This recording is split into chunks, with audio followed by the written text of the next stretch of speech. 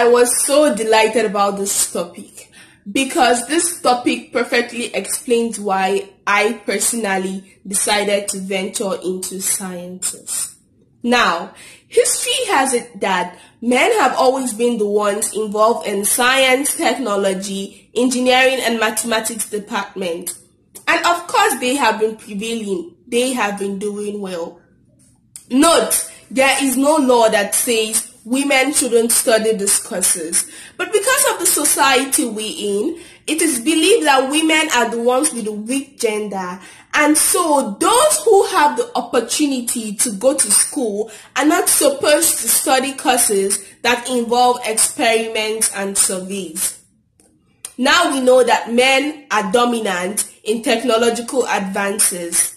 That also states that problems which relates to women are not often talked about.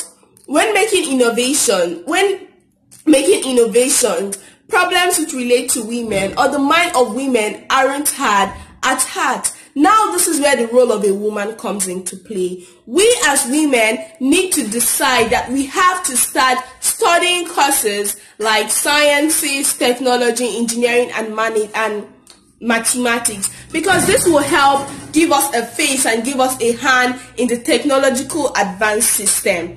Now,